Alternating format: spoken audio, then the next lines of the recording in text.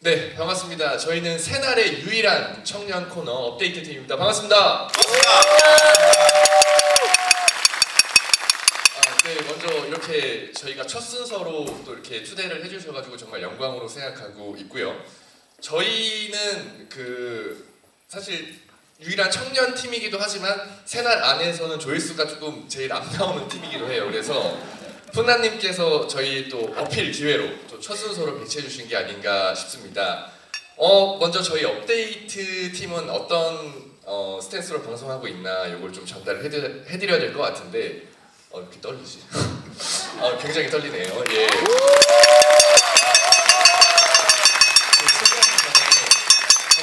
혹시 이거 보셨다 하면 손 들어주시면 정청래 님 바쁘시니까 앞줄일수록 안 보시네요. 아니면 오늘 처음 봤다. 한번 손 들어주시면 아, 장관님 감사합니다.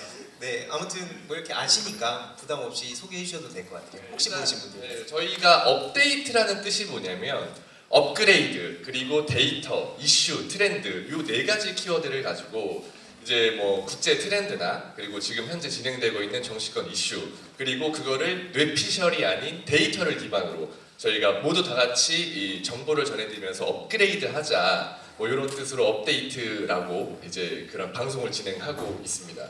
근데 사실 저희가 진행하면서 약간 상처를 좀 많이 받는 막 그런 것도 있었는데 어떤 거였냐면 이제 딱 시청자분들이 들어오세요. 그러면서 어 푸나님 어디 갔어? 어, 딱 이렇게 멘트 하시고 다음에 올게요. 그 대신 청년들은 응원합니다. 이 멘트를 꼭 해주고 나가세요. 근데 아까 여기 계신 저희의 상처는 아니고 개인의 아니 어 아, 얘기가 좀 다른데 들어오신 거 아니, 자체로 감사한 거죠. 무슨 상관이야? 어, 아니 아까 얘기랑 좀 다르지 않아? 어, 예, 아, 혼자 얘기하신 것 같아요. 어, 예, 아무튼 그래서 부이 불러. 다음에 부를게요. 아, 예. 부인님 맞아요. 부인님도 다음에 같이 꼭 방송하도록 하겠습니다. 예. 혹시 뭐 각자 하시고 싶은 말씀 있으시면 조금 인사 안 한 것 같습니다. 아, 예. 소개 먼저 해야죠. 예. 아, 죄송합니다. 너무 긴장해 갖고. 네. 자, 저는 어, 업데이트의 진행을 맡고 있는 어, 정재우라고 합니다. 반갑습니다. 안녕하세요 업데이트의 진행을 맡았다가 자리를 내준 쫓겨난 황희도라고 합니다 네, 국제발음역 활동하고 있고요. 매주 기후변화 이야기, 또 국제발음역 이야기, 가끔 빈곤 포르노 이야기 전달해드리는 오의석입니다. 반갑습니다. 네, 반갑습니다. 새날의 막내 보람 PD입니다. 업데이트에서 국제 외교 관계 소식을 전달해드리고 있습니다. 반갑습니다.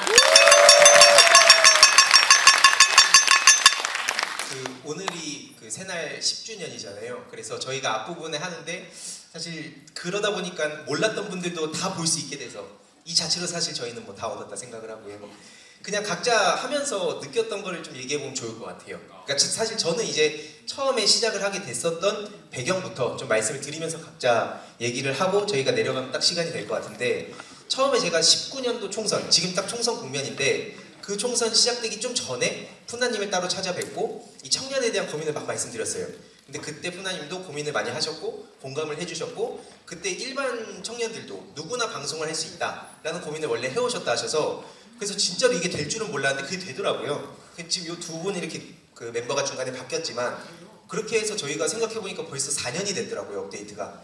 근데 오늘 또 이제 처음 아시는 분 계시니까 더 노력은 해야 되는데 아무튼 그렇게 진짜 청년들이 누구나 방송할 수 있다라는 걸 그냥 스스로 다 각자 증명을 하고 있고 이걸 보는 일반 친구들도 종종 나오잖아요. 아까 뭐 V 뭐 나와라 뭐 이런 말씀하셨던 것처럼 그런 식으로 저는 그 푸나님의 그래서 그런 기회가 이게 말뿐이 아니라 진짜 청년들을 생각하고 거기에 맞춰서 우리가 더 열심히 노력해야겠다.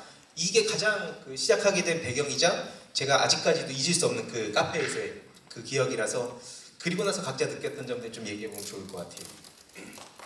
네, 그 일단은 희두님하고 보람 PD님은 4년째 방송을 했고 저랑 이제 의석이 오이성님은 한 2년 정도 된 것 같아요. 저희가 중간에 이제 바뀌었었죠. 고정 2년 조금 체- 넘었죠, 우리. 2년 조금 넘었죠. 고정 체제로 바뀌면서 저희가 합류를 했는데 저 같은 경우는 되게 진짜 특이하게 정치를 하나도 모르는 그러니까 중도도 아니고 그냥 무관심층의 입장으로 그때 딱 새날에 처음 이제 합류를 했었어요. 그러니까 어 그뭐 황희두를 내가 키웠다 뭐 이렇게 어그로 끌면서 제가 프로게이머 선배거든요. 그래서 진짜 정치 하나도 모르고 딱 처음 이제 새날에 2년 전에 방송을 시작하게 됐고 그때 푸나님께서 하신 말씀이 그러니까 이 전할 수 있는 시각은 굉장히 다양하다. 그러니까 정치의 고관여층이 보는 어떤 시각이 있을 것이고 또 무관심층, 또 중도층이 보는 시각이 있을 건데 그거를 잘 대변하면 이제 어, 이쪽 진영에서 굉장히 많은 효과를 불러일으킬 수 있다. 이렇게 조언을 해주셔가지고 진짜 뭐 하나도 모르고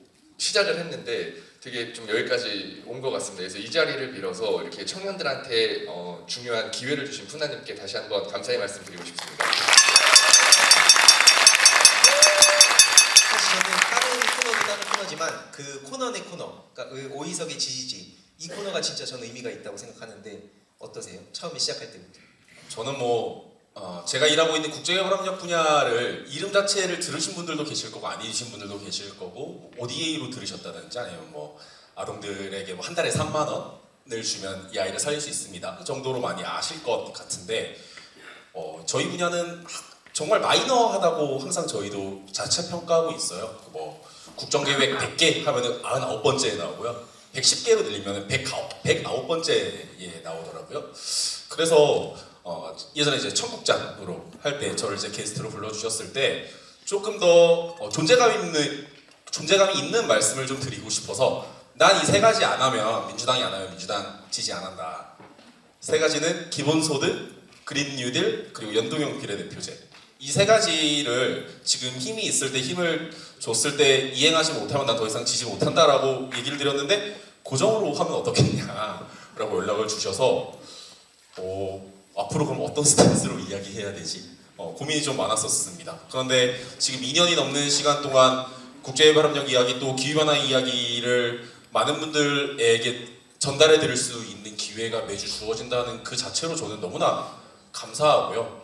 그리고 어떤 시민 활동의 영역에 있을 때는 어, 시민들의 이야기가 생각보다 잘 보이지 않더라고요. 이게 시민 없는 시민 사회인 건가를 느끼면서 공허함이 있었는데 매주 방송을 통해서 어, 제가 전달해드리는 기후변화 이야기나 국제사회 이야기에 대해서 반응해 주시는 것들, 갈수록 관심이 많아지는 것들, 그러면서 한번 진짜 아리백 얘기를 했더니 누가 그 다음에 바로 아리백을 모르고 빈곤 포르노 얘기를 했더니 바로 누가 빈곤 포르노를 하고 하는 일들이 겹치면서 저도 개인적으로 방송의 효능감을 좀 느끼고 그러면서 기후변화 국제협력에 대해서 더 전달을 해드릴 수 있고 그것이 어떻게 보면은 정말 당원들이 그리고 이 정치에 관심이 많으신 분들이 어, 기후변화 그리고 국제협력 이슈에 관심이 많으시면서 동시에 이것이 실질적인 정치 정책의 영역으로 반영되는 모습을 보면서 어, 뿌듯함도 느끼고 앞으로 할 일이 정말 많다라고 이제 여기면서 방송 덕분에 오히려 공부도 더 많이 하고 스스로 채찍질도 더 많이 하는 것 같아요. 가장 뭐 그리고 매주 저희 방송 챙겨봐 주시는 분들 인사 인사해 주시는 분들 모든 분들께 일단 가장 먼저 감사할 뿐입니다. 여기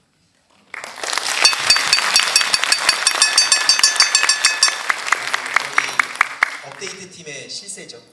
미래 권력이라고 하는 지금 그런. 어, 사회에서 몰려났다고 하시면서 희두님이 계속 사회를 보고 계신데 저희 공식 사회는 정재훈님이시고 네, 아, 아, 그냥 주세요. 뭐 하겠다면 그냥 두십시오. 네. 예, 그 저희가 처음에 청국장이라는 이름으로 천, 청년 대국민 소통장이라는 이름으로 시작을 했었는데 어, 초기에는 제가 원래 디자인이나 패션 이쪽으로 일했던 사람으로서 문화예술이나 이런 쪽에도 관심이 있고 정치에도 관심이 있는데 정치에 관심이 있으신 분들은 문화예술 쪽에 좀 관심이 없으시고 문화예술이나 뭐 대중문화에 관심 있으신 분들은 또 반대로 정치에 관심이 없으신 분들도 많이 계셔서 이게 분명히 연결된 지점이 있는데 라고 하면서 처음엔 이제 그쪽으로 많이 얘기를 드렸다가 이제 특히나 윤석열이 정권을 잡고 나서부터는 이 외교 문제가 특히 우리 분단된 한반도에서 한국 남한에서는 정말 중요한 이슈잖아요. 근데 여기에 대해서 너무 못하다 보니까 여기에 대해서 더 많이 알려야겠다라고 생각을 해서 지금은 국제 외교 관계에 대해서 전달을 많이 드리고 있습니다. 근데 어, 많은 분들께서 앞에서 뭐 희두님도 그 얘기를 해주셨는데 진정성 다들 뭐라고 생각하세요? 다들 진정성이란 단어는 좋아하는데 어떻게 표현되는지에 따라서 다들 뭐 각자 기준이 다르실 것 같아요. 근데 저는 어, 저희 사장님이라서 드리는 말씀이 아니고 푸나님께서 이렇게 청년들에게 판 깔아주시고 또 얼마 전에는 이태원 참사 유가족분들을 인터뷰를 했거든요. 세월호 관련해서도 계속 새날이 많이 함께 연대를 해왔었는데 많은 분들께서 청년 정치 중요하지 이런 사회적 안전 문제 중요하지라고 얘기는 해주시면서 실제로 어, 관심을 가지고 정말 지켜봐 주시거나 조회수를 올려주시거나 하는 그런 방송들은 아닙니다. 솔직히 말씀드리자면. 근데 그럼에도 불구하고 이렇게 꾸준히 해주시는 게 저는 푸나님이 어, 진정성을 발자취로서 보여주시는 거라고 생각을 하고 있고요. 또 제가 이렇게 방송을 하면서도 많은 분들과 함께 어, 성장해갈 수 있다고 느끼고 있습니다. 그래서 많은 시청해주시는 분들, 그리고 푸나님 비롯해서 새날께 정말 감사드리고 있습니다. 네, 감사합니다. 진행해 주시죠. 제가 하고 제가 얘기해요. 한다면서요. 예, 예. 아니 그 저는 다른 것보다 그 앞에 말씀 주셨듯이 이게 딜레마가 좀 있었던 것 같아요. 그러니까 이게 사실 정치 여기 앞에 뭐 박찬대 의원님이랑 정청래 의원님도 계신데 현실 정치의 영역에서 그 청년들이 중요하다 이런 얘기를 다 하는데 이게 막상 이 유튜브 세계도 그렇고 막상 청년들이 목소리를 안 내거나 혹은 이게 유튜브 조회수가 안 나오면 시장 논리에 의해서 자꾸 뒤로 가더라고요. 사실 그게 아까 말씀하신 기후 위기도 똑같은 거고 그럼에도 불구하고 이 판을 깔아주셨다는 게 저는 되게 쉽지 않은 판단이었다 생각을 하거든요. 그래서 저희가 또 그냥 나오는 게 아니라 다 출연료도 받고 그렇게 나오는 게 굉장히 귀한 거니까 오늘 이거를 이제 오프라인과 온라인으로 보시는 분들은 그 앞으로 업데이트 그 수요일 저녁 8시 반이죠. 하는 거 꼭 챙겨봐 주시면 좋겠고 주말에도 참고로 제 방도 나갑니다. 그래서 이따 마무리할 때 한 번 더 말씀드리겠지만 수요일 8시 반 옆에 그 푸나님이 아니라 여기 정지훈님이 계신다 해서 나가지 마시고 틀어놓고 들으면 또 들을만 하거든요. 네. 한번 더 정, 정재훈님 무대 올라오시기 전까지 계속 준비하셨던 거 있잖아요. 뭐요? 아, 예, 예. 근데 왜 이렇게 땀을 흘리세요? 긴장했어요? 아니, 아, 옆에서 보니까 땀이 너무 많이 흘러가지고, 예, 예. 아니, 사실은, 그러니까 각자 저희가 이제 시간이 얼마 없으니까 각자 이제 총선 앞두고 있고, 청년으로 활동하면서 어떤 역할을 우리가 하려고 하나, 내년 총선까지. 뭐 각자 생각이 있을 거 아닙니까? 그런 것들을 마지막으로 전달드리고 저희 순서를 좀 끝내면 될 것 같아요. 그래서 제가 먼저 좀 말씀을 드리면, 어, 저는 아까 말씀드렸듯이 정치 무관심층의 입장으로 계속 보려고 노력을 하고 있습니다. 그러니까 제가 사실은 방송하면서 제 방송이나 막 이런 걸 주위 무관심층들에게 홍보를 해봤는데 먹히지를 않는 거예요. 그러니까 어떤 뭐 좋은 패널이 나오고 어떤 좋은 아젠다 또는 정책이나 이런 걸 홍보를 해도 그 사람들은 관심이 없더라고요.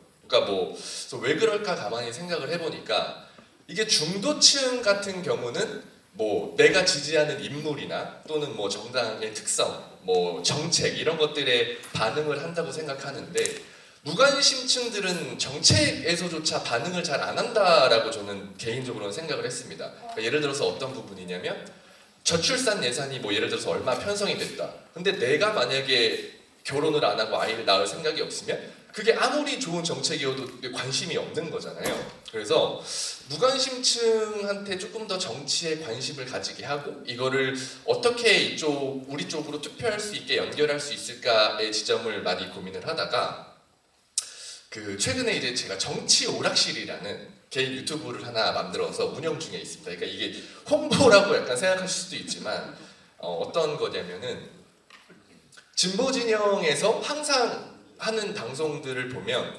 그냥 서류에 이렇게 책상에 마이크 놓고 서류 놓고 여기서 이제 이슈 풀고 물론 이게 굉장히 좋고 정보를 많이 얻는 방식이기는 하지만 약간 이게 무관심층들이 이 방송을 볼까? 그러니까 우리 안쪽에서는 계속 이- 이게 이슈가 되지만 그래서 어, 이런 어떤 프레임을 좀 깨보자 해서 예, 술, 이렇게 취중 어, 정치 약간 그런 느낌으로 술 한잔 하면서 굉장히 좀 어, 평소에 하지 못했던 그런 얘기들을 하는 컨텐츠를 진행하고 있고 이 컨텐츠를 계속 쭉 살려서 총선 전까지 무관심층한테 민주당 정책을 자연스럽게 녹여내고 또 인물에 대한 어떤 평가를 좀 높여서 이거를 조금 어, 총선 전까지 한번 활동을 해보자 라는 생각으로 정치 오락실 유튜브 운영하고 있습니다. 예. 아니 근데 좋은데 새날 10주년 인데 아, 그렇죠. 업데이트해서. 아 그래서 아 그리고 업데이트는 뭐 아까 말씀 다 드렸지만은 우리가 각자의 색깔이 명확하게 있거든요. 그러니까 저희 업데이트 4명 안에서도 이제 저야 뭐 두루두루 진행을 하는 거지만 환경 이슈 그리고 그 국제 이슈 그리고 희두님이 얘기하는 현재 정치 그러니까 이런 부분들을 우리가 어떻게 할지 좀 더 깊은 고민을 해봐야 될 것 같긴 합니다. 예. 네, 네, 끝입니다. 예. 무대에서 고민하지 마시고요. 좋습니다. 저도 어떻게 보면 맨날 저는 정치 중심으로 얘기를 하고 원래 디지털이나 뭐 IT 쪽, AI 쪽에 관심이 많아서 그 이슈를 하는데 그게 막상 또 관심도가 또 떨어지는 것 같더라고요. 그래서 왜냐면 저희가 방송할 때 또 다른 정치 시사 이슈 혹은 요즘은 특히나 속보가 너무 많이 쏟아지니까 그거를 좀 봐야지 하다 보니까 계속 뒷전으로 밀리는 것 같아서 저도 그 고민을 하다가 현실 정치와 IT 이슈가 겹칠 때는 그걸 다루고 그게 아닐 때는 그 정치를 할 때 그 현안에 대해서 얘기를 하면서 청년들의 관점을 좀 더 녹여내보고 그럼 이게 아까 뭐 중도층도 말씀하셨지만 진보 민주 진보 진영 안에서도 의견이 워낙 나뉘고 이게 맞나? 뭐 내 주위의 얘기들이 맞나? 이런 고민을 하실 때 최대한 그런 다양한 시각으로 내용들을 전해드리고자 저는 앞으로도 그런 파트를 좀 맡을 예정이니까요. 8시 반 수요일입니다. 네 잊지 말아주세요. 네.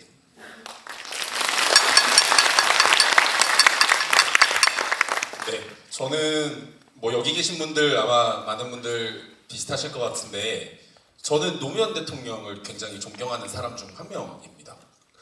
그런데 반면에 저는 이명박이 너무 싫은데요. 제가 싫어하는 이유는 지- 지금 현재 한국 사회의 현재와 너무나 크게 연결되어 있기 때문입니다. 우리가 우리나라 이제 전 세계 4대 기후 악당 국가다 이런 얘기를 많이 들으셨을 거고 실제로 OECD에서 재생에너지 비율이 가장 낮고 어, 한데 왜 우리나라가 이렇게 됐을까? 어, 궁금해서 제가 이제 일을 한 지가 이제 10년 정도 된 사람이어서 제가 일을 하기 전에 우리나라에서 이 기후 환경과 관련해서 어떤 움직임들이 있었는지 쭉 찾아봤어요. 찾아보니까 이미 노무현 정부 때 경제 성장뿐만이 아니라 사회 통합과 환경 보전을 위해서 어, 기반을 만들기 위해서 지속 가능 발전 기본법 같은 것들이 이미 마련되어 있었더라고요. 그리고 그 안에 재생에너지를 늘려야 한다. ODA 어, 잘 해야 한다 등등 어, 지금 현재 한국 사회가 해야 한다라는 하지 못했기 때문에 해야 한다고 하는 거잖아요. 그런 것들이 이미 그 법안에 많이 담겨 있었더라고요. 그런데 이명박 정부 들어서면서 한 번에 뒤집습니다. 녹색 성장이라는 이름으로. 그리고 실제로 녹색이 있었습니까? 성장이 있었습니까? 그리고 우리나라 지금 기후환경 빌런이 되었고 그리고 우리는 이 기후 대응을 위해서 뛰어가야 하는 상황인데 여전히 녹색 성장이라는 담론이 사회를 지배하고 있고 어, 뛰어야 하는데 걷, 걷고는 있나? 오히려 모래주머니를 기똥차게 무거운 걸 달고 가는 것 같아서 어, 저는 노무현 정부 때 만들어졌던 이 지속가능 발전 기본법이라든지 이런 정신을 지금부터 더 계승하고 더 펼쳐나가는 역할을 하는 것이 노무현 정신이라는 생각이 들더라고요. 그리고 그런 차원에서 매주 마이크 앞에 앉아서 어떤 가치를 말씀드리는 것은 저로서는 너무나 큰 영광이고 그리고 너무나 감사하게도 저희 분야가 마이너하다고 말씀을 드렸잖아요. 근데 이 마이너한 분야에서 젊은 누군가가 매주 방송에 나와서 많은 분들 앞에 어떤 어떤 얘기를 하니까 이 마이크가 자연스럽게 깃발이 되더라고요. 그리고 그 깃발을 보고 따라오는 동료들, 후배들, 선배들이 생기더라고요. 그래서 저는 앞으로 이 방송으로 말미암아서 제가 전하고 싶어하는 우리 사회에 필요한 가치를 저와 함께하는 친구들과 조금 더 세력으로서 어, 더욱더 큰 임팩트를 좀 주는 사람으로서 되고 싶고 그런 차원에서 제게 이 방송은 너무나 소중하고 감사한 기회다라는 말씀을 어, 한번 더 드리는 바에 그 뭐지 조금 시간이 약간 있으니까 그 그 얘기를 좀 오신 분들께 전해드리면 좋을 것 같은데 이게 보통 우리가 그 시청자 입장에서 댓글 하나 남기고 좋아요 누르면 막 아 이거 진짜 큰 힘이 된다 하는데 막상 할 때 이게 안 와닿잖아요. 이게 진짜 도움이 돼? 이거 하나가 뭐 그렇게 큰 그 결과물을 가져와 하는데 저는 그 국제사회 그쪽 분야에서 실제로 들려주셨던 얘기들을 오늘 이런 데서 말씀해 주시면 되게 큰 힘이 될 것 같거든요. 뭐 빈곤 포르노 건대라든지 아니면 뭐 일각에서는 야, 오이석채 정치하려는 거 아니야? 이렇게 폄하를 하는데 그런 문제들에 대해서 이 겪었던 이야기들 오늘 좀 잠깐 해주셔도 좋을 것 같아요. 이미 저희 분야에서 많은 분들은 쟤는 정치하려고 저러나 보다라고들 많이 생각을 하세요. 어, 앞에선 말씀 안 하시는데 뒤에선 하시는 것 같더라고요. 근데 뭐 그런 건 뭐 어쩔 수 없는 것 같고 제가 컨트롤할 수 있는 영역은 아닌 것 같고 다만 좀 아, 최근에 그냥 출장 갔다 온 얘기 잠깐 드리면 캄보디아를 잠깐 출장을 한 열흘 정도 갔다 왔어요. 그리고 우리나라가 이제 세금으로 캄보디아의 시골 마을에다가 학교에 태양광 발전소를 쫙 설치를 한 거예요. 그래서 마침 그 마을에 좀 볼 일도 있고 해서 겸사겸사 이 시스템이 잘 돌아가고 있는가 쭉 이제 봤는데 너무 안타깝게 고장이 너무 많이 나 있는 거예요. 근데 그 기술은 한국에만 있어요. 한국 제품이고 한국 사람이 고칠 수 있고. 어, 그래서 고장이 났는데 이걸 손을 못 대고 있더라고요. 우리 아까운 세금으로 몇십억을 들여서 어, 세운 태양광 발전소인데 고장이 나 있는 상태고 그럼 고장 났을 때 어떻게 하라고 혹시 교육 받았어요? 라고 그 현지 분들에게 여쭤봤더니 한국으로 연락하라고 전달 받았대요. 이분들 캄보디아 시골에 계신 분들인데 영어도 어려우세요. 어, 말씀을 못 하시고 방치를 몇 달째 해놓고 계신 상태더라고요. 이제 그런 괴리, 어, 우리가 재생에너지를 해야 된다. 그리고 이 재생에너지로 그냥 ODA가 아니라 녹색 ODA를 해야 된다. 지금 이거 윤석열 정부가 무지하게 떠들고 있는 거잖아요. 그린 ODA. 그런데 이 제가 방금 말씀드렸던 사례도 이제 지난 정부 때 있었던 ODA 사업임에도 불구하고 우리가 공급자적인 입장에서 받던 나라에서 주던 나라가 됐다 정도의 마인드로 그냥 줘버리는 순간 그 나라에서는 바로 고철덩어리로 넘어가는 거 어, 순식간이더라고요. 근데 하물며 지금 정부가 과연 이 일을 잘할 수 있을까?에 대해서는 저는 너무 마음이 좀, 어, 좀 두근거리고 어, 어떻게든 좀 잘해야 될 텐데 잘하려는 어, 노력에 비해서 과도하게 그린 ODA를 외치는 모습에서 좀 어, 두려움이 있어서 뭐 두려우면 어쩌겠습니까? 더 떠들어야죠. 예, 더 떠드는 역할을 그러니까 그 있습니다. 떠드는 차원에서 그때 그 빈곤 포로는 제가 말씀드린 게 그때 한 몇만 명이었죠.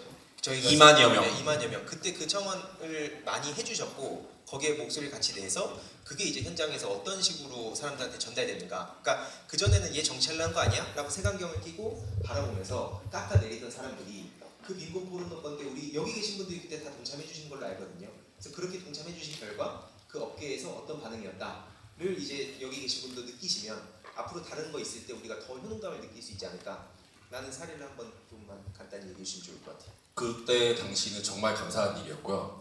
이제 저희 분야 내에서는 꽤 충격이 좀 컸던 일이었는데 이름 있는 뭐 아시, 아실 만한 NGO나 시민사회단체가 한 게 아니라 실무자들, 활동가들이 모인 커뮤니티가 이 문제를 이거 문제다. 김건희가 빈곤 포르노 했다. 우리가 국제개발협력 분야에서 일하고 있고 국제개발협력 분야가 빈곤 포르노를 그간에 해왔기 때문에 우리가 이거에 대해서 너무 잘 알고 있다. 저건 빈곤 포르노가 맞다라고 얘기했고 2만여 명이 서명을 해주시는 순간에 저희 분야 내에서 저렇게도 활동이 가능한 거였어?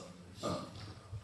라는 인상이 매우 짙게 다가오더라고요. 그리고 그때 힘을 좀 말미암아서 아까 보람님이 진정성이 무엇이냐라고 물어보셨을 때 저 같은 경우는 일관성이라고 좀 대답을 하는 편인데 어, 당시에 어, 빈곤 포르노에 대해서 우리 사회에서 관심이 굉장히 많이 생겼고 그 에너지가 실제로 우리나라에서 더 이상 테레비 틀었을 때 한 달에 3만 원 내면 이 아이를 살릴 수 있습니다로 연결되지 않도록 하는 것이 역할이라고 생각을 해서 그때 서명을 정말 많이 해주신 덕분에 저희가 이제 12월 1일에 다양한 우리 국제협력 실무자들이 모여서 빈- 빈곤 포르노를 근절하는 오픈 포럼을 열기로 했습니다.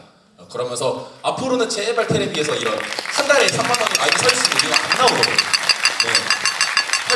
연결해 가고 있고요. 지금 박수 주시는 많은 분들이 서명해 주신 덕분에 저희 활동가들이 더 힘내서 어, 필요한 일을 하는, 하는 데에 에너지를 더 많이 쏟고 있습니다. 너무나 감사합니다.